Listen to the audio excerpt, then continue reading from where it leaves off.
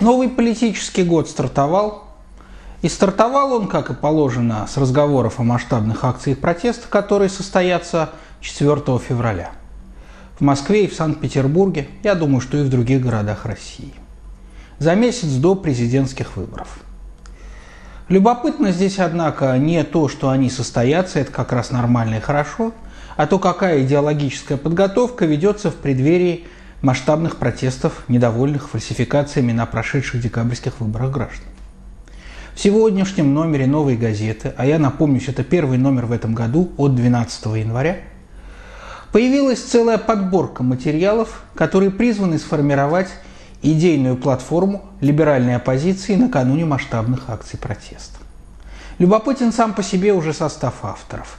Тут тебе и господин Клямкин, вице-президент нынешней фонда «Либеральная миссия», известный еще тем, что был идеологом у антикоммунистов из межрегиональной депутатской группы, у тех самых, которые 20 с лишним лет назад приступили, как они выражаются, к демонтажу советской системы, к ликвидации коммунистической партии и развалу Советского Союза – Ныне, оказывается, господин Клямкин по-прежнему востребован в качестве сценариста «Оранжевой революции».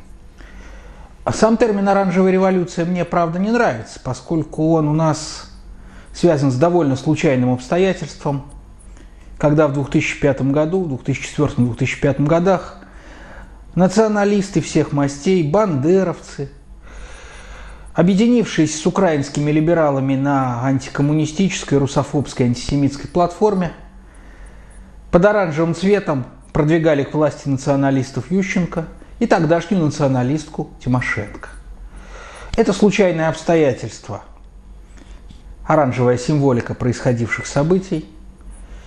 И сама революция, которая на самом деле была не революция, а скорее контрреволюция, попытка окончательно похоронить советское наследство на постсоветской Украине, вызывает у меня негативные отношения. Я думаю, что термин «оранжевая революция» стоит переименовать в термин «окончательная капиталистическая контрреволюция» в пользу настройки капитализма. Вот именно эту окончательную капиталистическую контрреволюцию, которая, по мнению всех этих Игорей Клямкиных, призвана довершить начатое в 1988-1991 годах, они и пытаются всучить в качестве идейной платформы к предстоящим акциям протеста. Помимо Клямкина состав авторов интересен, повторюсь. Там и сотрудница Центра Карнеги американского Лилия Шевцова. Там и политолог, работающий в Великобритании, но явно российских либеральных взглядов, гражданин нашей страны, к сожалению. Там и известный своим махровым антикоммунизмом Георгий Сатаров, и юрист Михаил Краснов, и много кого еще. То есть вся эта публика сценаристов либеральных сил, юристов и идеологов, участвовавших в том числе и в качестве экспертов позорном фарсе 20-летней давности, попытки в Конституционном суде Российской Федерации осудить коммунизм как явление общественной мысли, признав его преступным, попытки, кстати сказать, тогда, в 1992 году провалившейся. И теперь они выходят, используя массовое недовольство на второй заход.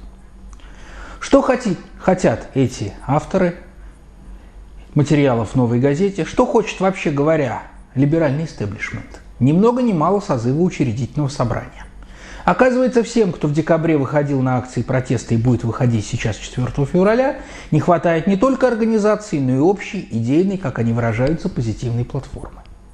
И в качестве таковой они предлагают конституционную политическую реформу и созыв учредительного собрания, которое, где созданное выборщиками со стороны, учредит по новой российскую капиталистическую власть, российскую буржуазную государственность.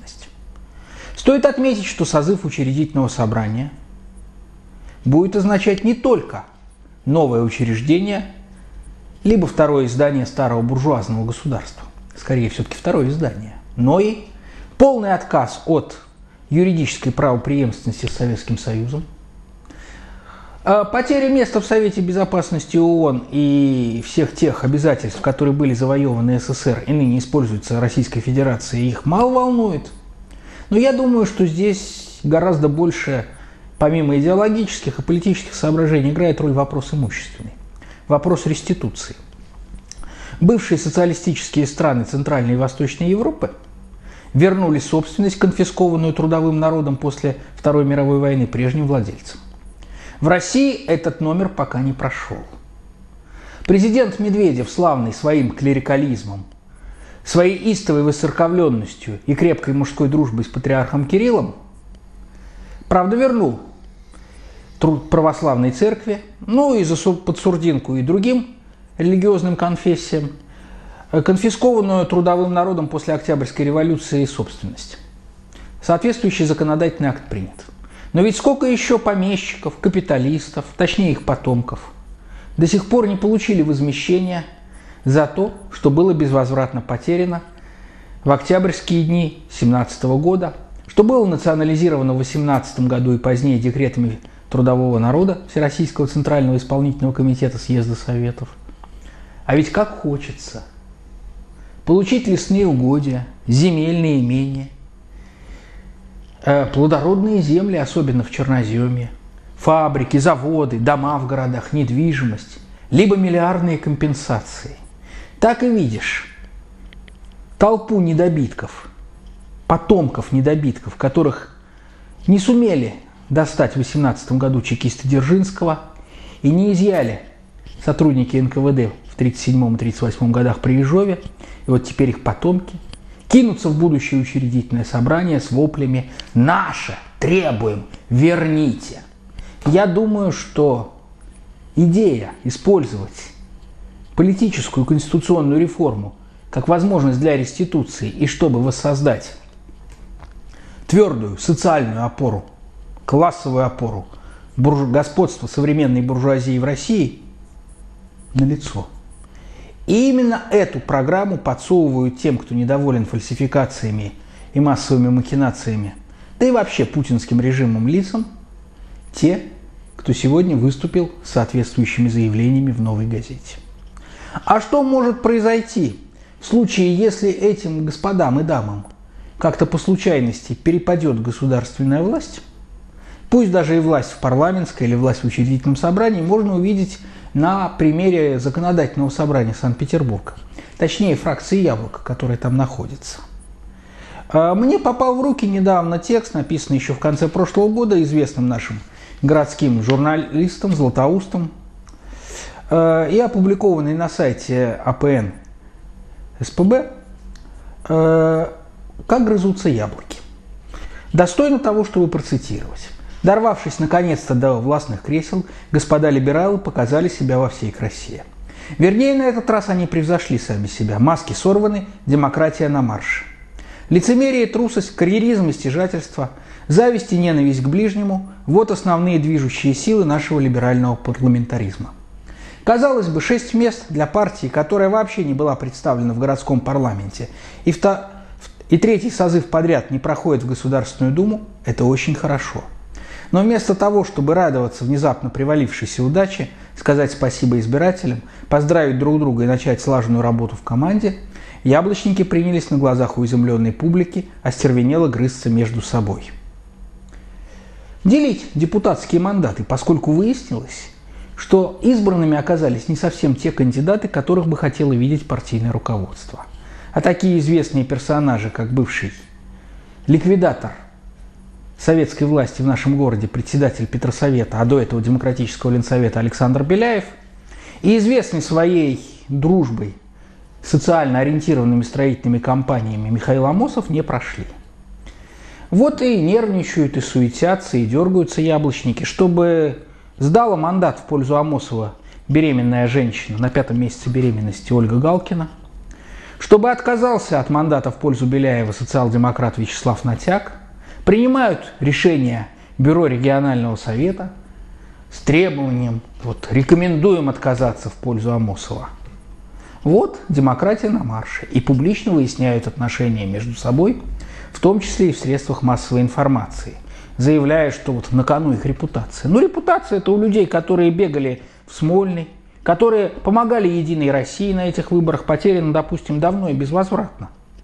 Мы помним, что в петербургском метро присутствовала реклама только двух партий – «Единой России» и «Яблоко». Все остальные туда попасть не могли. Мы знаем, сколько средств вложило «Яблоко» в ту самую предвыборную кампанию. Коммунистам они, эти средства, и не снились. По-моему, в шесть раз больше. И в этой ситуации партия «Спойлер» Единой России, которая пытается показать, что они настоящие демократы и что это честно, сосредоточила свои усилия не на выполнении наказов избирателей, а на борьбе с беременной женщиной, которая должна отдать свой депутатский мандат господину Амосову. Очень достойно, очень показательно. Достойно, естественно, в кавычках. И возникает вопрос, почему победа, как пишет журналист Анаконский, не пользующего, мягко говоря, особой популярностью в массах и не имеющего ни малейшего парламентского опыта, проректора Петербургского института иудаики господина Кобринского, сомнений ни у кого не вызывала. И отказаться от мандата в его случае никто не требовал. Может быть, этот прирожденный депутат нужен яблочникам, потому что он избрался в Петроградском районе, который курирует нынешний спикер Единорос Вячеслав Макаров. Возможно, проректор Петербургского института иудаики является тем самым связующим звеном между партиями «Единая Россия» и «Яблоко». Поэтому во фракции он нужен, в отличие от Галкиной. Ну а что касается господина Амосова, то мы помним его как автора доноса на национал-большевиков в 2006 году за разбрасывание листовок в законодательном собрании. Видный демократ и либерал, подписавший письмо в прокуратуру, умыл руки, а ребята несколько месяцев до суда, до суда просидели в крестах за одно лишь разбрасывание листовок. Мы помним, как он на бульваре Крыленко защищал интересы социально ответственной, социально ориентированной строительной компании «Донг» за строителей и против инициативной группы граждан. Мы помним его речи на столь широко рекламируемым яблоком собрание граждан против Охта-центра. С чего он начал свое выступление? Да очень просто. На общественных слушаниях либерал-демократ Амосов первое, что сказал. Земля это выкуплена в частной собственности «Газпрома», и мы не подвергаем сомнению его возможность строить все, что, все, что он хочет. Адепт частной собственности на землю, оставшийся без депутатского мандата, теперь мобилизует весь партийный ресурс, чтобы отбить его у беременной женщины. Вот лицо либералов во власти, либерального парламентаризма.